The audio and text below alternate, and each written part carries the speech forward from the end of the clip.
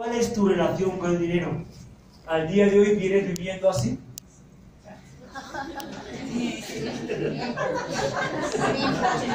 Persiguiendo la plata. El dinero, miren, el dinero es como las mujeres. Cuanto más las persigues, más se te escapa. La ecuatoriana, ¿verdad? Cuando tiene un chico ahí que está todo tarado detrás tuyo, que dice ese chico come de mi mano. Y hace con él lo que le da la gana. Lo llama cuando quiere, para que lo invite a comer, al final deja ahí tirado, después le sale un mejor plan, lo deja botado. ¿Y por qué? Porque sabe que lo vuelve a llamar y ahí viene como perito. ¿Sí o no? ¿Qué ocurre cuando tú tienes esa relación con el dinero y tú necesitas dinero y trabajas persiguiendo el dinero? El dinero hace contigo lo que le da la gana. Pero una vez que resuelvas tu independencia financiera, descubrirás que hay otras dimensiones en tu vida. Mientras tanto, usted vive en urgencia, vives en riesgo, vives en estrés. Y cuando vives con estrés, no hay posibilidad de la creación.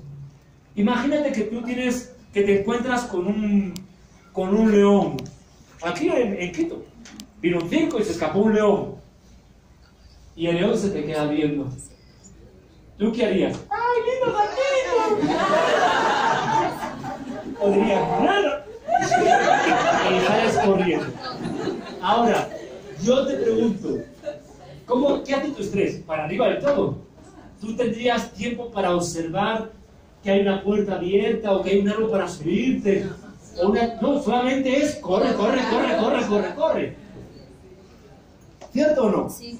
Pero cuando tú vas sin estrés y vas tranquilo por la misma calle, tú ves restaurantes, ves negocios, ves gente, ves a una persona tosiendo, en vez de decirle salud, le dices Omniplus, te dice qué es eso, y le dice un producto que yo tomo para, para que usted no me contagie, o me eleva las defensas. Sí, y surge la conversación.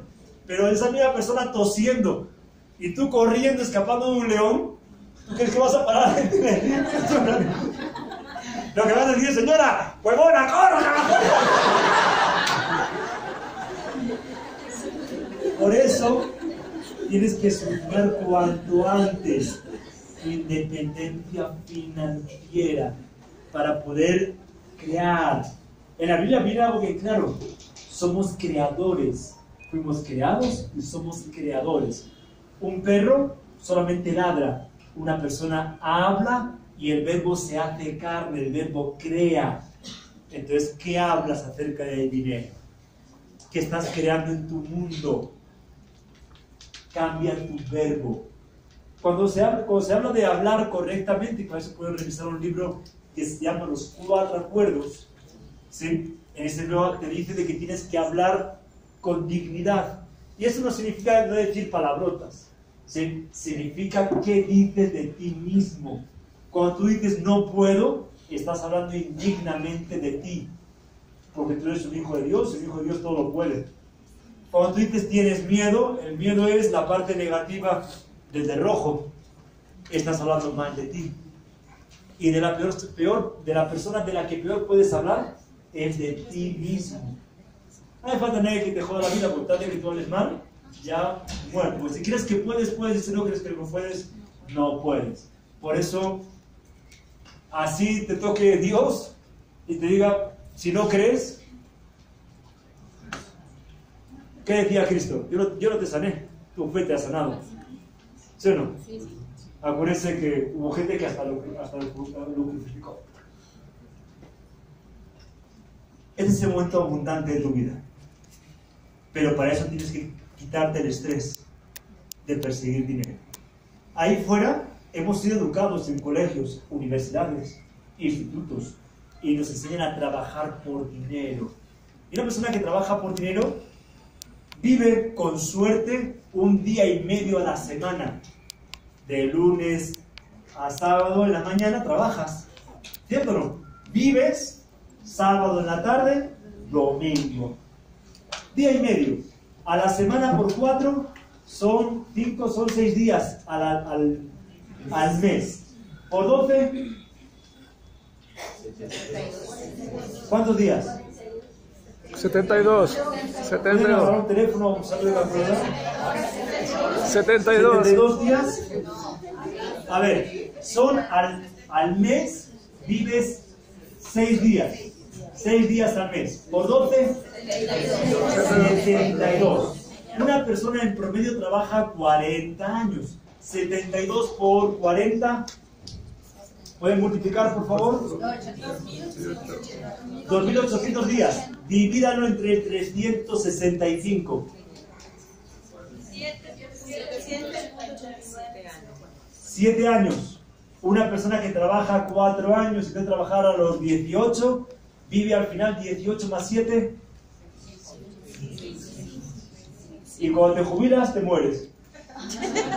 Por eso la vida es bien corta. Tu vida son 25, di- 25 años. Si no me creen, vean una película que se llama The Time, en la que la gente ya a los 18 años, ¡pum!, le da un golpe en el corazón y se activa un reloj. Y no hay dinero. Lo que intercambian es tiempo, porque dinero compra tiempo. El dinero compra tiempo para tu familia, compra tiempo para ti, compra tiempo de vacaciones. Cuando no tienes tiempo, tienes que vender el tiempo a cambio de dinero. Y al final vives siete años a partir de los 18. Ah, nadie les había dicho eso, ¿verdad que no? Te dijeron, para hacer aire en la vida, estudia, saca buenas notas, sé profesional, consigue un buen empleo, paga tus deudas, ahorra, disfruta de tu jubilación. Y los que, los que hicieron las cosas bien, yo no tengo, yo, yo ya me he quedado opción. Yo hice las cosas mal. Estudia, saca buenas notas, mira la jodí. Pero yo tengo que buscar otro camino, más rápido. Pero ahora imagínense la sensación del que lo hizo bien. Estudia, saca buenas notas, sé profesional, consigue un buen empleo, defiende el trabajo, ahorra y cuando eres consigue un empleo, defiéndelo, te despiden, te votan, el jefe la jode, le caes mal al encargado y te, corren. Esa persona dice, oye, ¿qué carajo pasó? Yo hice todo bien. Y esa gente vive muy frustrada. Porque te dijeron, te vendieron un mal negocio, te vendieron un proyecto de vida que no funciona. Se le llama un paradigma, una verdad que no fue absoluta. Fue una verdad para nuestros papás, para nuestros abuelos. Hoy no funciona. Colón golpeó contra América, la Tierra ya no es plana, esto no es un planeta, esto es un huevo. Ni siquiera redondo, es un huevo. Y la gente que todavía sigue pensando que el mundo es, un pla- que es plano, vive frustrada. ¿Cierto o no? Cambiemos el paradigma. Si pudieras mejorar, ¿lo harías? ¿Quién podría, si pudiera mejorar, quién lo haría? Todos, ¿verdad? Ahora, si tú estás ganando mil dólares al mes y ya no puedes mejorar más, entonces esa cantidad podría ser suficiente para usted. Voy a repetírtelo. Si usted está ganando, por decirte una cantidad al día de hoy, 1.500 dólares o 2.000 dólares al mes o 3.000, y usted sabe que no puede mejorar más, usted alcanzó el éxito. Y esa cantidad estaría bien para usted. Pero si usted sabe que no está rindiendo el 100% de su posibilidad, entonces esa cantidad no es suficiente. Ahora entienden por qué los empleados viven frustrados. Porque un empleado no da el 100% de su capacidad. Y si la verdad sabe que no le van a pagar más. Y esa gente vive en la mediocridad. Ni en el peor de los casos, ni en el mejor de los casos. Vive a medias, en la mediocridad. Y acuérdense de algo, las medias son para los pies. Y algunas personas como sí. Algunas personas como Jorge Vedra ni para eso usan las medias.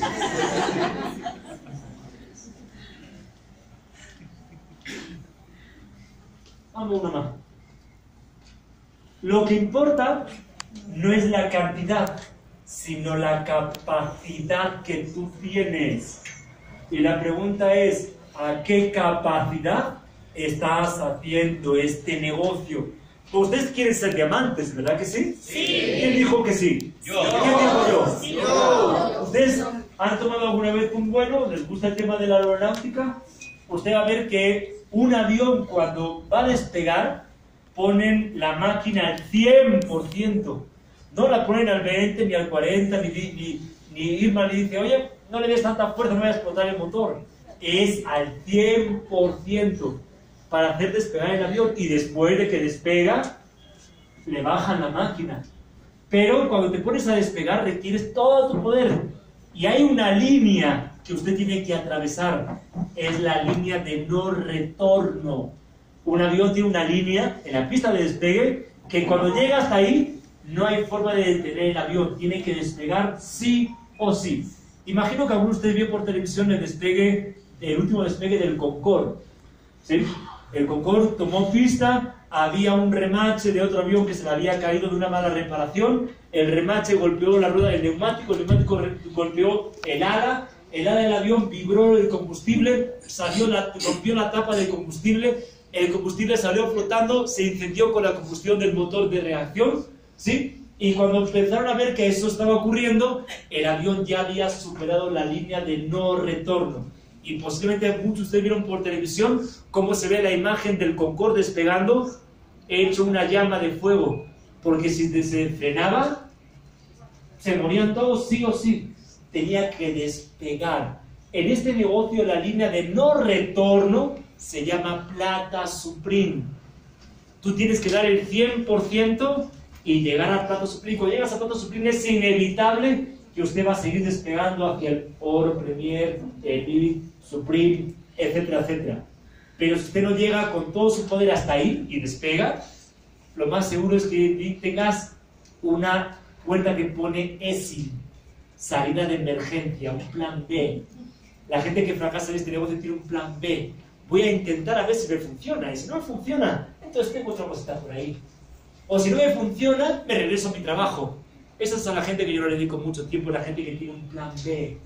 La gente exitosa no tiene un plan B, no tira la toalla. Si la vamos a tirar, la vamos a tirar en Dubái.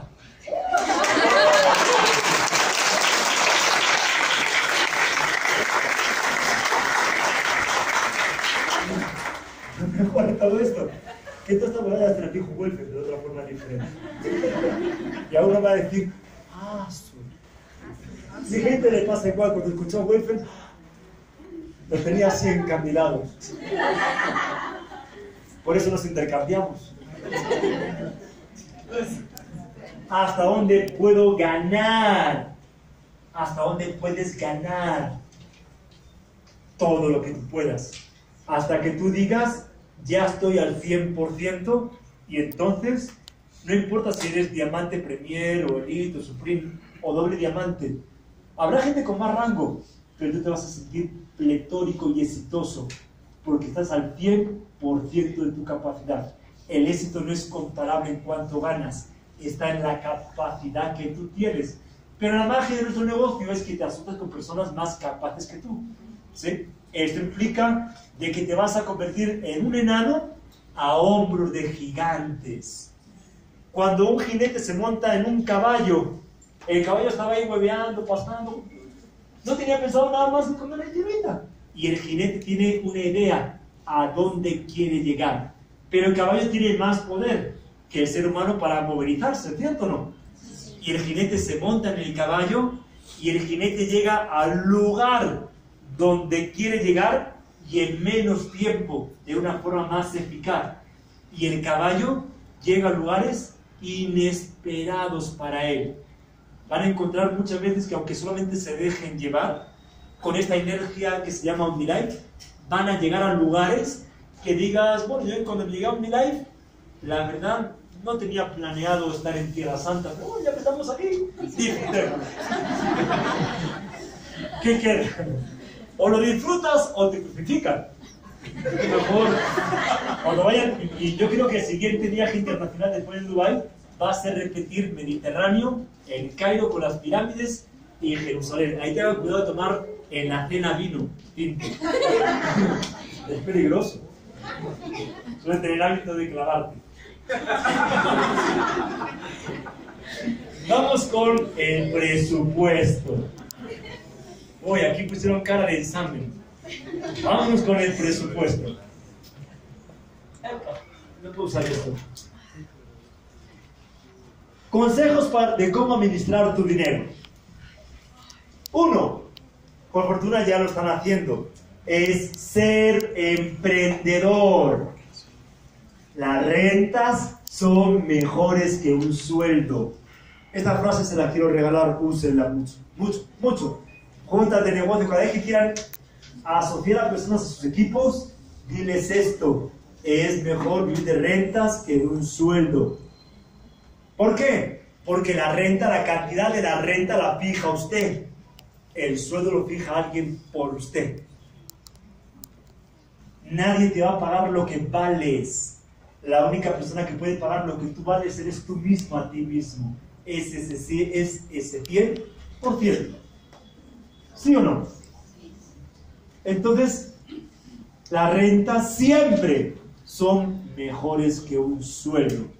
Dos, convierte parte de tu ingreso en capital. Y no importa si ese ingreso viene de un sueldo, o viene de un menudeo, o viene de un cheque. Convierte parte de tu ingreso en capital. En una palabra, conviértete en capitalista. Y aquí vamos con algo. Gran parte de las personas tienen un concepto negativo acerca del capitalismo. Cuando la gente piensa en un capitalista, piensa en una persona vestida con un traje frac o un gorro de chistera alto y un montón de empleados de fábrica y con un látigo y explotándolos. ¿Cierto o no? Esa es la imagen que nos venden del capitalismo. El capitalismo no es eso. Esa es la imagen que proyecta el que cree que el sistema lo oprime, el que no se educó acerca de cómo crecer y obtener libertad y independencia económica. Vamos a ver qué es el capitalismo básico. Hoy voy a hablarles de capitalismo versión kinder, para nido, para niños chiquitos, matemáticas de dinero básico. Y van a ver que lo básico se complica en la vida. ¿Sí?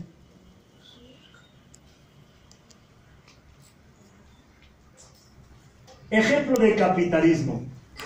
Bueno, un ejemplo de capitalismo es un padre que tiene hijos y decide comprar dos bicicletas. Una bicicleta es para que el niño la use y la otra bicicleta es para que la alquile a los niños de su lugar por horas. ¿Qué ocurre con esto?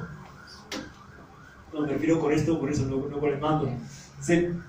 Bueno, lo que ocurre es que van a pasar dos cosas.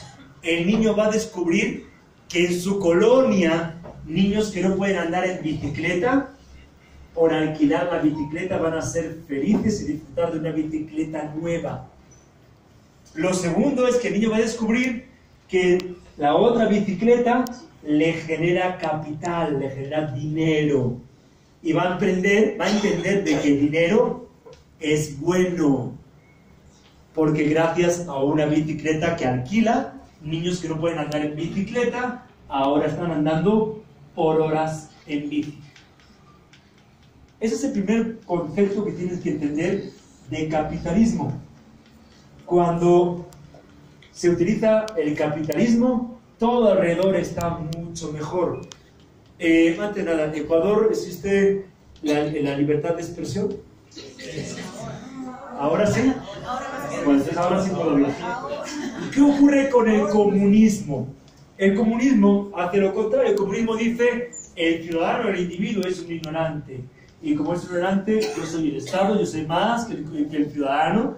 Vamos a agarrar todo el capital y yo lo voy a administrar. Y ocurre lo siguiente, cuando esto ocurre, es como estar en un colegio, bueno, como estar en Omilá. E imagínense que en Omilá y la compañía dice, en vez de que un diamante gane como diamante, vamos a agarrar los cheques de todos los distribuidores, afiliados, y vamos a repartirlos por igual entre todos los empresarios. Obviamente el que es flojo, el que no hace nada, el que mueve, el que está todo el día mirando en el almacén y apoyando en parte del mobiliario, viendo quién entra y quién sale, no se va a esforzar en firmar, ni en capacitar, ni en enseñar. Ahí te pregunto, Wilfred, tú que te sacas la mierda trabajando para aquí, para allá, viajando, juntas de negocio, ahora coges tu coche y vas para aquí, para allá, ¿tú te sacarías la mierda si tu cheque se reparte de forma igualitaria entre todos los distribuidores de online? Automáticamente este negocio quiebra, porque no se premia el esfuerzo del individuo. El comunismo tiene ese gran problema. Y el promedio va menos. Y al final, bueno, ¿qué pasó en Venezuela? Se lo comieron. El capitalismo me encanta, el capitalismo premia el esfuerzo del individuo. Más te esfuerzas, más trabajas, más logras, más ganas. Si tú no estás ganando es porque no estás esforzando. No le eches la culpa al modelo, ni al sistema, ni a Jorge Vergara, ni al plan de compensación. La culpa es tuya. Agarra tu puño, lo cierras y por mi culpa, por mi culpa.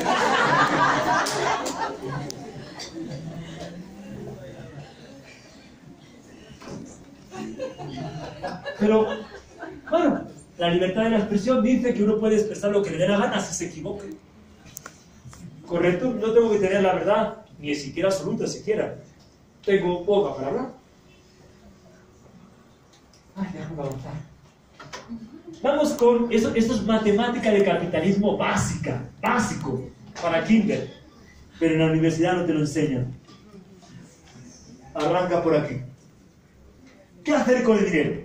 Bueno, lo primero que va a aparecer ahí es esto. OmniLife, en nuestro caso, fabrica el producto. Ellos se encargan de la tecnología, de fabricar. Cuando vas a México ves que entra por aquí una cosa, que la otra, que la va, que la sacuden, ¿sí? Y OmniLife trae el producto desde fábrica hasta Ecuador. Pongámosle, vamos a, a pasarlo a dólares. Imagínense que esos son dólares, ¿correcto? Y usted va al almacén de, de OmniLife y compra producto por valor de 60 dólares. ¿Bien? Si tienes producto por valor de 60 dólares, ¿de dónde sale el dinero para comprarlo? De tu bolsillo. Ese dinero pudo haber salido de un préstamo, pudo haber salido de un trabajo anterior o haber empeñado algo en tu casa. ¿Cierto? 60 dólares. Esos 60 dólares son capital. Tienes el producto en tu mano. Lo que haces es buscar el cliente tú vas a vender el producto al cliente valor público, que son 100 dólares. Para empezar, el mundo se hizo mejor. Esta persona, que es tu cliente, obtiene un producto y un servicio.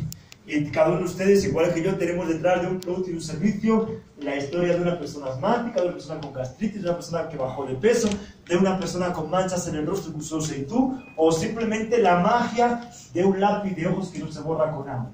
Esa persona compró y el mundo se hizo mejor. ¿Sí o no? Sí. Ahora, la pregunta es, ¿cuánto ganaste?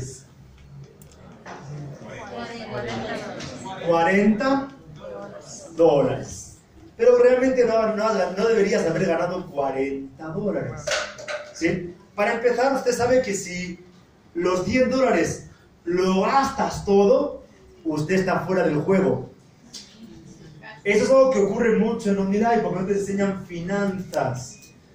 Compras el producto con tu dinero, lo vendes y tienes una cuenta que pagar, un agujero, un cráter lunar y lo pagas todo. Automáticamente usted está fuera del juego del capitalismo.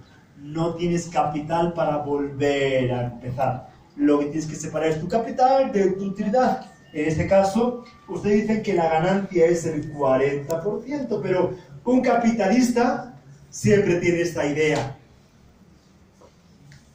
La reinversión. Va a reinvertir siempre un 10% de la utilidad. ¿Para qué?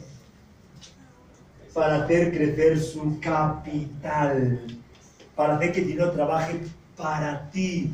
Porque al tener más capital, al tener más capital, vas a hacer más dinero y a muchas personas más felices. En el momento que ustedes se lo comen todo, quedan fuera del juego. En el momento que no reinvierte mínimo un 10% de su capital, tu negocio, escucha bien, no crece. Y lo que no crece, decrece. Eso que lo explica bien, que lo que no crece, decrece, es telo caballero. Anótalo, lo que no crece, inevitablemente decrece. Un ejemplo de la naturaleza. Tú tienes un campo, ¿sí? Y si siembras patata, ¿aquí dice patata o papa? Siembras papas en Perú, ¿qué obtienes?